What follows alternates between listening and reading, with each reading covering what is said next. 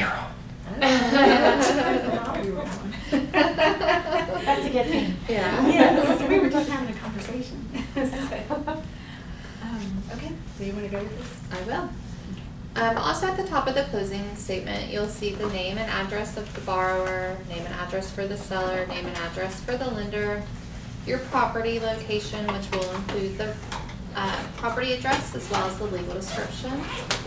Also, you'll see the settlement agent, so that's where you close, so say, um, you represent the buyer, they go to list it uh, with you a few years later and you wanna remember where you closed, you can just pull up the closing statement and you'll see. Also it goes over your settlement date and disbursement date.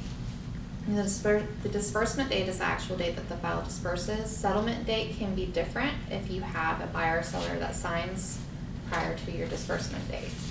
Is that, is disbursement the same thing as funding? Yes, sir. Okay. So, Okay, so we send this, once it's been approved, everybody gets a copy, and a lot of times a loan officer will go over the buyer's figures with them prior to closing, but we always go over it at closing, just, a lot of times us just talking through the figures will answer questions that they may have, so we go over it in detail. Um, let's take a look at the seller side first, which is on the right, and it's gonna have the sales price, and then um, any credits to the seller. So in this case, there's a homeowners association fee of three hundred and fifty dollars, which is on line four oh nine. And most often, the homeowners association fees are paid for the year up front. So this seller has already paid that fee for this entire year. So from the date of closing until the end of the year, there's a proration done where the buyer credits back to the seller the portion of that full homeowners association fee. And so any, the sales price plus any credits are added down to come into the gross amount due to the seller, which is the four fifty, one oh eight, thirty-six. And the next section shows any reductions in the amount due to the seller, and it's gonna start with the 27481, which is a total of their settlement charges. And if you look at page two, it will give them a detail on what that is. And again, the seller side is the right-hand side. So it's starting at the very top with the twenty-seven thousand, which is the total of the realtor's commissions. It'll show a total there, it does not show what the percentage is, and it does not show who's get paying, being paid what part of this.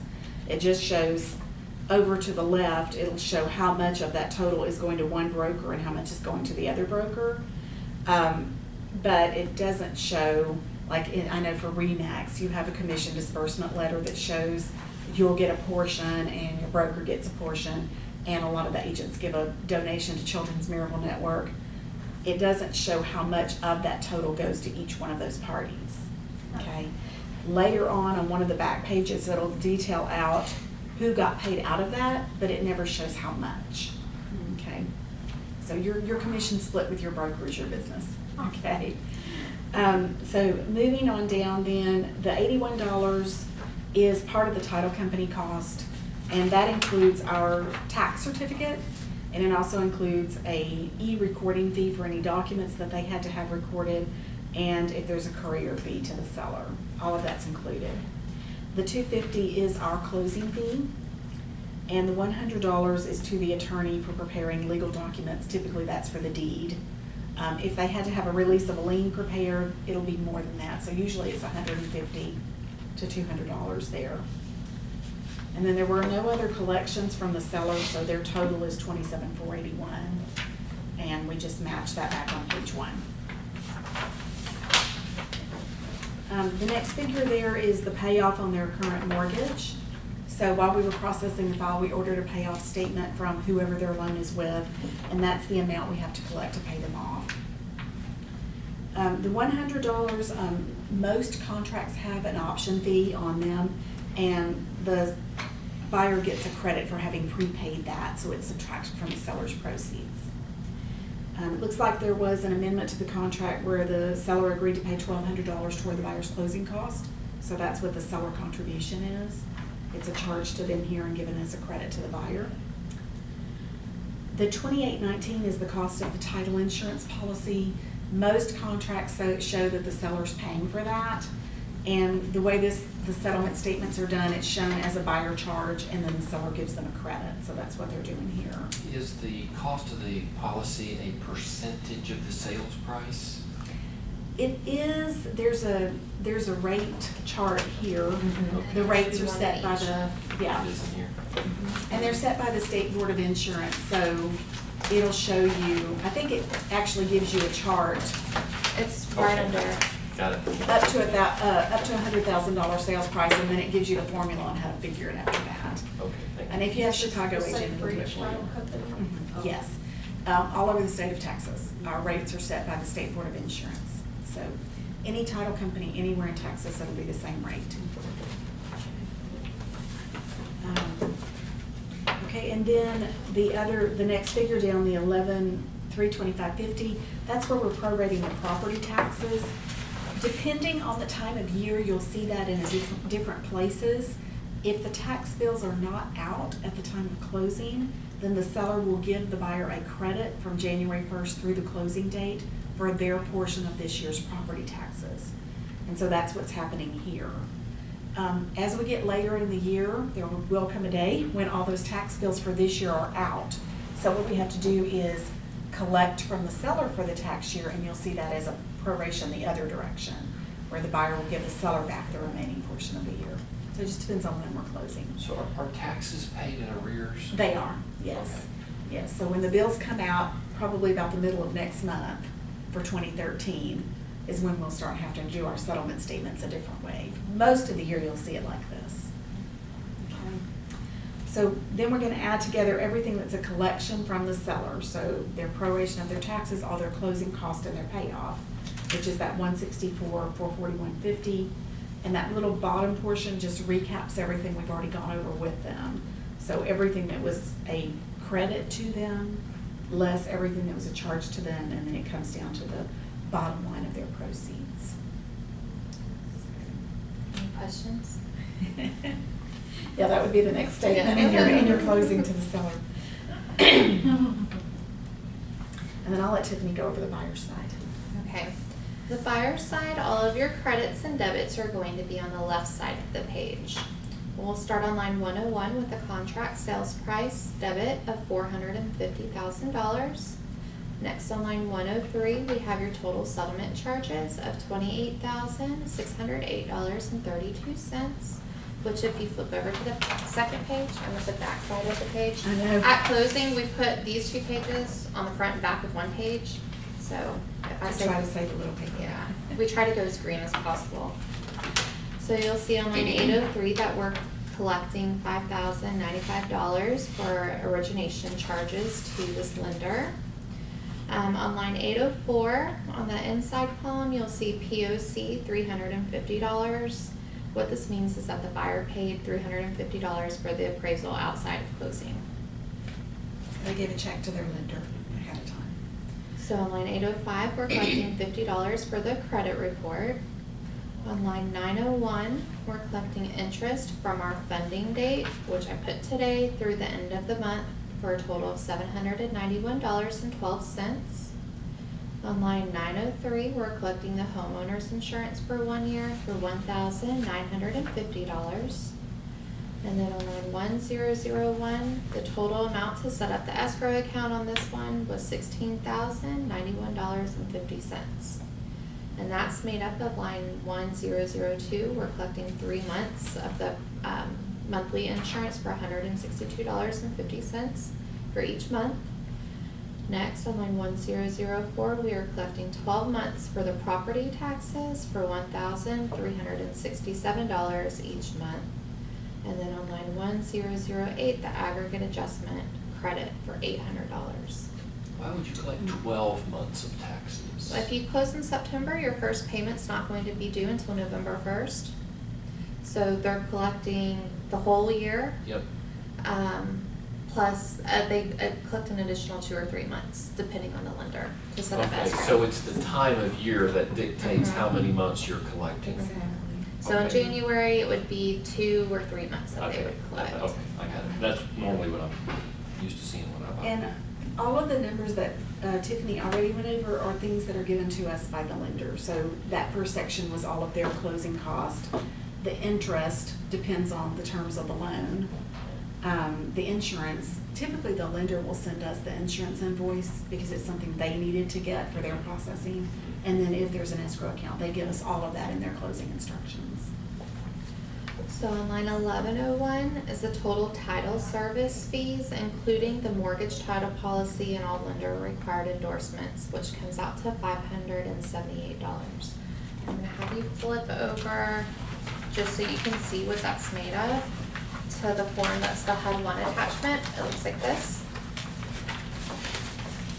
And those charges are made up of, um, there's the breakdown, line eleven oh one detail, there's a sixteen dollar courier fee, six dollar e-recording fee, for a total of twenty-two dollars on line, line eleven oh one. And then on line eleven oh two is our closing fee to Chicago Title for two hundred and then we're gonna skip the line eleven oh three detail because that's not rolled up. But we're gonna go down to the line eleven oh four detail, and that's the total cost for the lender's title policy with all the typical endorsements that are required by the lender. So that comes out to two hundred and then the last item on line eleven eleven detail, a sixteen dollar document copy fee. So when you total up the twenty-two dollars, two hundred and fifty, and then the two hundred and ninety and sixteen dollar charge, it comes out to that five hundred seventy-eight dollars. Why is the owner's title policy so much more expensive than the lender's policy? Because it's based on the sales price and we're doing what we call that simultaneous issue, so they're being issued at the same time. The owner's policy is the more expensive, it's based on the sales price. The lender policy gets quite a discount because we're issuing them at the same time. Um, if it was a refinance and we were only issuing one policy to the lender, it would be based on the loan amount and you would see that it was more in line with what the owner's policy cost.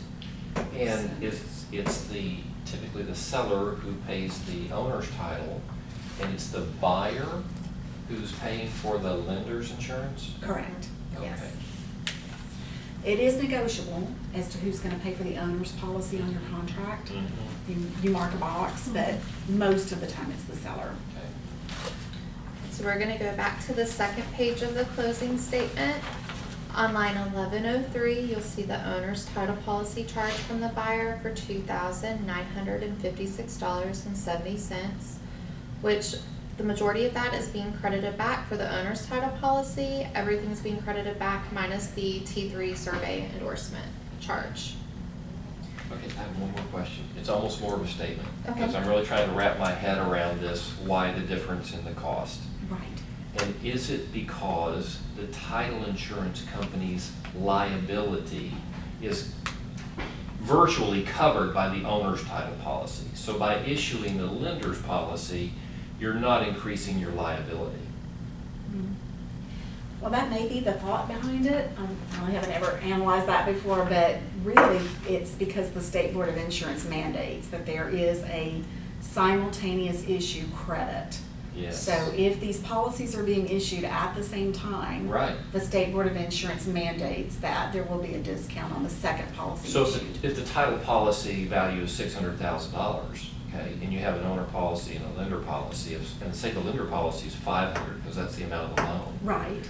You're not gonna pay out a total of one point one million if there's a claim. Mm, good. Good. Really? Because you, yes, because they're two separate policies. So, But the lit, okay, yeah, because the, the new owner, the buyer, is covered under their policy for that total of six hundred thousand. Mhm. And their mortgage company is covered under their separate policy for that five hundred thousand. okay, so my theory doesn't work. All right. Never mind. But we are researching the same title to issue both policies, so you're, you know, Okay. Gotcha. On line twelve oh one, we have the total government recording cost, so this is what it actually cost us to record, um, the warranty deed, deed of trust, and water district notice if there is one, twenty-one dollars. Now, that number does fluctuate depending on the number of pages of the document being recorded. Um, down in the bottom on line thirteen oh two, I'm collecting four hundred and fifty dollars for the survey. On this one, I put the four hundred and twenty-five dollars going, um, being covered by the buyer, but typically that is the seller cost and would be shown in the seller column. And then the last item on line thirteen oh four would be for the HOA transfer or quote fee to the HOA for hundred dollars. So when you total up that whole column, it comes out to the twenty-eight thousand, six oh eight thirty-two, which if you flip back over to the first page, is the same number reflected on line 103. And then the last charge that we have for the buyer is that credit to the seller for the HOA for the remainder of the year HOA balance for $108.36. So when you total the sales price with the total settlement charges and the HOA debit, the total amount of cost to the buyer comes out to 478,716.68.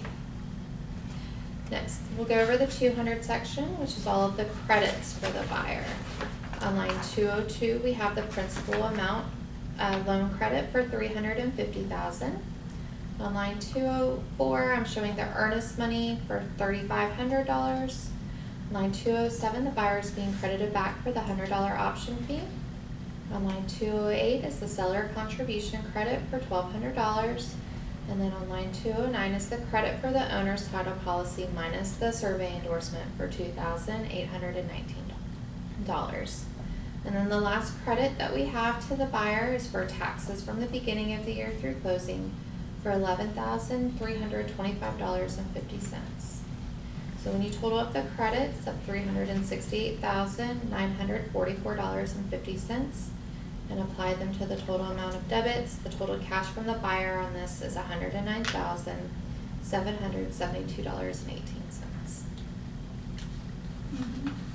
So at closing, this is the moment when I would say, do you have a cashier sheet? Or a lot of times the bu- the buyers will wire the money in in advance, especially if it's a higher amount, so. If there's a closing date set and for some reason at the last minute they have to postpone, is there a charge or penalty for that, to postpone it for each day or? Um, it depends, it could, not from us.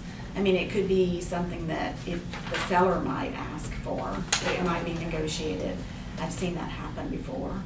Um, because it does cost the money, money for the seller for every day it doesn't close. They've got interest on their payoff Yeah, loan that's what I thought. And, um, taxes for every day. So, it's something that can be negotiated. But, um, you know, a lot of times the date on the contract is kind of like the target date, almost like the due date for a baby, you know? So we're really, really happy when we actually hit that date. Yeah. Sometimes they close early and sometimes they, they, they get delayed. I like that analogy, Yeah. that's a good one. There's a, there's a lot of analogies between. Sometimes there's complications. Sometimes everybody has to go in bed rest.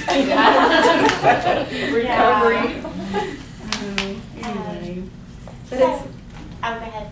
now, I was just gonna say, it's a lot of, I think the fun part of our job is, um, especially on residential closings, when you get to meet people who are so excited, you know, and, and get to be there when they get their keys and, you know, there's a lot of are things that are not so great when you're dealing with, you know, maybe a bankruptcy or divorce, but, you know, it usually comes out to be a happy time at the end, so. It's very rewarding to hand someone the keys and say, congratulations, you're now a homeowner. Mhm. And Yeah. That's the same thing about real estate, Yeah. I mean, that's what, you go all through this, and that, I think that's the best part of it, Mhm. is when, when you mean, you to- are helping people with the biggest thing that a lot of them will ever do. I mean, besides having children and getting married, you know, That it's- part is so exciting. I mean, providing I a love home for their family. That side of it, but like you said, the divorce side or the other side, you know, I went into this thinking that it's all gonna be wonderful because you're selling houses and everybody, but then the whole listing side of it isn't always that awesome, because it can be a divorce situation or an estate situation where I was like, that's not, that's not fun, but. Yeah. And for first-time home buyers, they're scared, they're making a big purchase, like you said, so they got a lot of questions and they wanna know everything. I personally love working with first-time home buyers. Yeah. You know, um, they're so excited and yeah, they're Yeah. nervous, but most of the time we can just have a conversation at closing. Mhm. And, yes, we have to go through all this paper, Yeah. but we can also talk about mm-hmm. where they're coming from. And, you know, we meet so many people that are in multiple changes in their life all at one Yeah. time, Yeah. you know. Well, I only might know a little bit more than a first-time home buyer, but I've had other savvy people that I feel like I'm thinking, you don't have a license and you know more than I do. No. Um, that won't be true for very long. I hope, mm-hmm. I hope not. So, as, as an agent that's attending a closing, um, you know, our role is just, just to be there for moral support really, because we don't really, I mean, yes, I guess you can review this for another set of eyes, but as many times as I've bought and sold my own properties and stuff, I'm still about as, I mean, I'm, I'm just a trusting Mhm. person that assumes that's correct, and that's probably not something we should always do, but, um, it is, every time I go over one, it, it gets a little more clear, but still, it's, it's one of those things that, how, when I did this two years, ag- or for two years, ten years ago, um, we had a, an- a person in our office, I guess she had a broker's license, and she was just there to answer our questions, you know? And so when I would get mine, I would go to her and say, okay, is this right? You know? So, And you can always call us before and say, do you mind going over the closing statement until you Mhm. feel more comfortable going over them. I've, I've had agents bring me, um, they had to close at another title company for some reason. Can we set up an appointment to come in so you can look over all the paperwork for me and help? And yeah, that's not a problem, you know, just come on in and, so that would be the benefit of having a rapport with, you know, a closing Right. agent, somebody that you can call ask those questions, uh, even if you can't use them. And I've done several closings for agents who told me, you know, this is my first closing. Well, I knew that and they knew that, but nobody else in the room had to know that. Mhm. You know, it was something that we could talk about, and, you know, I would never want it to look like they didn't know or were ine- inexperienced. So just to know, there might be more questions during the process, um, and that's how we all learn, hopefully, you know. because ultimately we all work together as a team to get these people in this house or out of the house, so, you know, and we all need to work together to do that, so. On this earnest money, is there a, a, um, typical amount or that, it's up to who to decide how much they wanna give for earnest money, the buyer?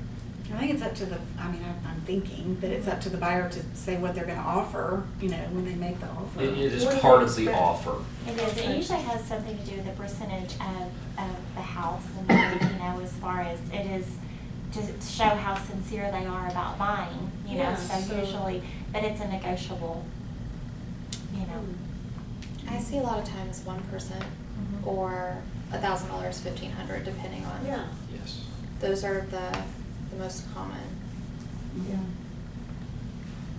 Um, and that's really the thing to bring up too, because a lot, there are times when, for some reason or another, the contract does cancel and we have the earnest money. So then it's the question of what can we do with that? What are our rules of what we can do with that earnest money? And it, it depends. If it cancels during the option period and we have an option receipt, then we can return the earnest money to the buyer without a fully executed release of lien, Yes. uh, release of earnest money, um, signed by everyone. Um, unless somebody called us and said, don't you dare, and then we're, then we're put on notice and that kind of freezes us. But, um, but other than that, we have to have that fully signed release of earnest money by everybody. So, and if, and if that doesn't happen, eventually the money gets, it goes to the state. So it, I don't know how long it's held. We don't have to be involved in that part, but, I mean, every effort is made to try to help them come to some resolution, but we do have to have that signed by everyone. So, or follow the terms of the contract, because the, that release of earnest money page that you send, mm-hmm.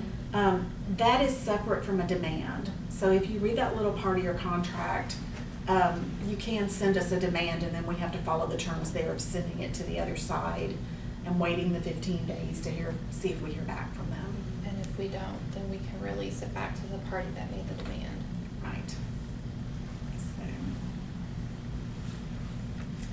Anyway, Maybe we should have a test. Yeah. Elsie had a Don't test me. Question. I did. Did you get cleared up? What was my question? I don't know, you were raising your hand. Oh, that's whenever they were talking about the first time homebuyers. I was like, Oh. I'm the one. Are you a first time okay. home buyer? I was. I decided to rent for a year Oh, okay. because I was in a really big hurry to buy. Um, and so I was like, okay, well maybe I'll rent